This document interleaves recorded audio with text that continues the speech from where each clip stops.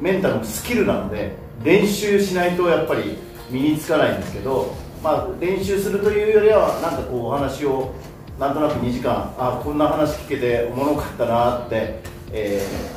ー、なんか映画とか本を読むぐらいな気持ちでこの時間いていただければなというふうに思います。まあ、せあのこのメンタルのところって本当に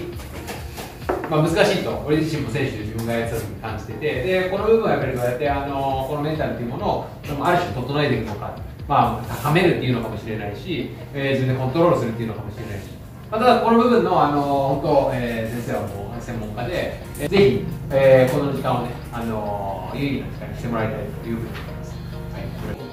態をどんな時もマネジメントしていかないとやっぱり結果は出にくいですよね。っていうこの構造だけを、えー、多くのアスリートたちに徹底的に教えています。どんな瞬間も必ずこれでできてるから。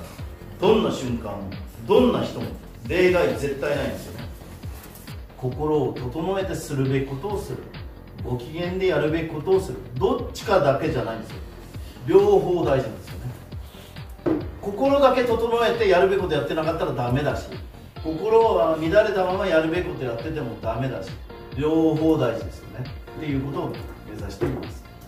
あ本当ねあのこういうあの時間で感じたことをやっぱり感じてとどめるだけじゃなくて、えー、やっぱり次ねあの生かしてほしいし、まあ、今本当俺らねあの置かれてる状況は厳しいけれども、えー、でもやっぱこれをどう捉えてね、えー、やっていくか。あの揺ら揺ら揺らがずとらわれずってあったけれども本当それが日々あの明日からまたあの来ると思うので、えー、ぜひぜひあのそこを自分の中で捉えたものはどんどん表現して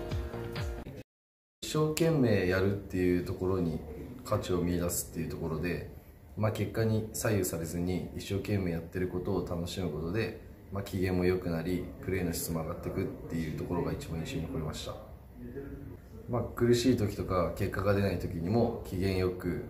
まあ今、今に生きてしっかりと生活していきたいと思います今の自分にとても合ってるような講義で、まあ、怪我していいスタート切れなくて、まあ、ちょっと落ち込んでる部分もあったんですけど、まあ、今をしっかり考えてご機嫌にっていうところですごいいい講義だった講義でした。やっぱプレーとか、まあ、サッカー界でも、まあ、常に機嫌よくいるために、まあ、今今を考えてそして笑顔でこれからも行きたいなと思います。